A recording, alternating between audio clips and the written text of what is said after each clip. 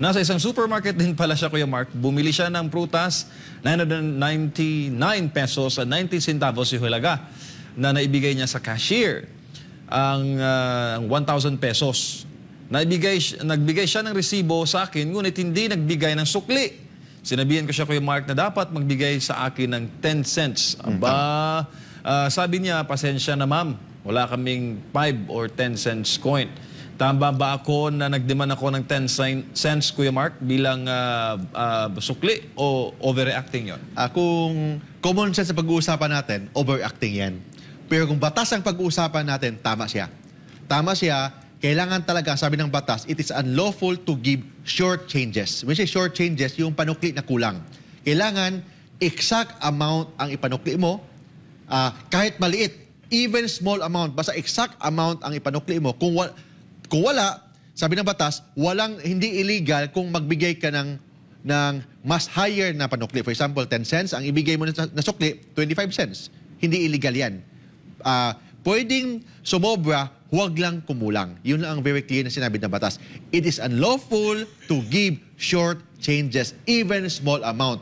But there is no violation kung sumobra ang panukli mo.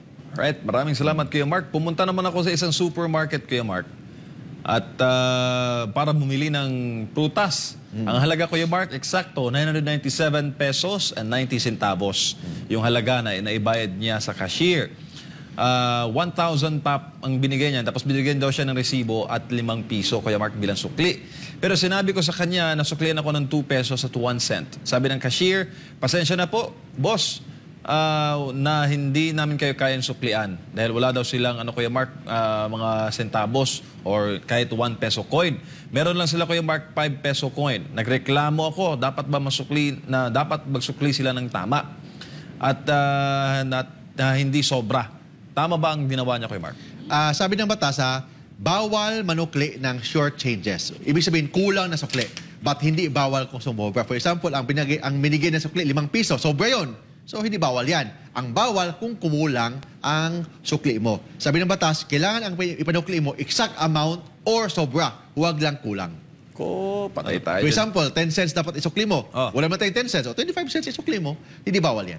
Hindi naman malaking kawalan siguro. Ah, Centavos lang yan eh. Oh, ta- tama. Pero ang sinasabi natin dito, batas na, we're not talking here about common sense, about Ah. sa panukli. Kasi kung 10 cents, pwede i-let go mo na yan. Pero kung batas ang pag-uusapan natin, sabi ng batas, very clear. Exact amount ang ipanukli.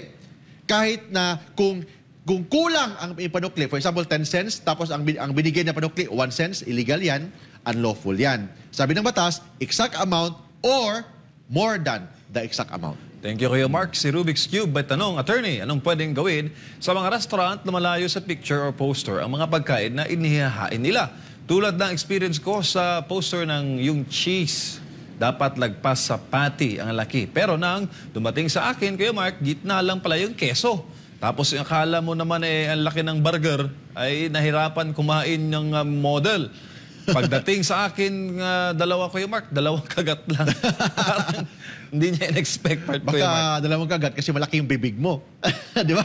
Ah, ganun lang yan eh. Or other options, baka baka yung picture pi- ah, naka-zoom lang yung picture. Pero kung for sa tingin mo na may panuloko, iba-iba kasi yung sa mata eh.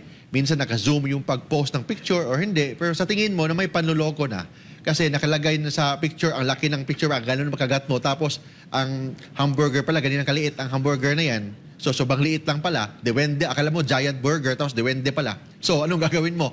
So, that is pwede, pwedeng panuloko yan.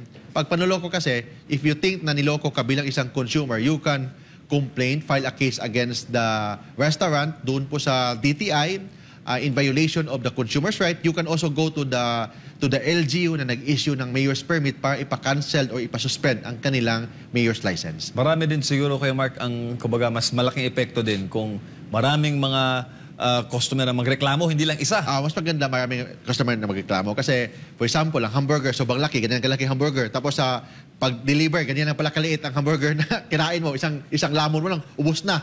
So, klaro-klaro na may panuloko. But kung may exaggeration lang, lalo na pag picture sinum lang, maybe hindi naman. Pero basta may panuloko lang.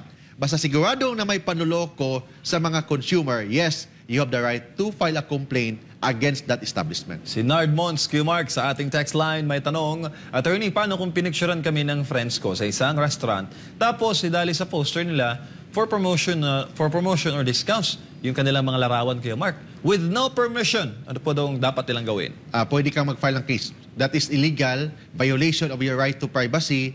In the very first place, ginamit yung pagbumukha mo para pag, pagkaperahan, iba yun. So that is illegal. So pwede kang mag-file ng kaso laban sa kanila. Uh, that is right to privacy and also damages sa ginagawa nila na paggamit ng pangalan mo. Naku, patay tayo dyan.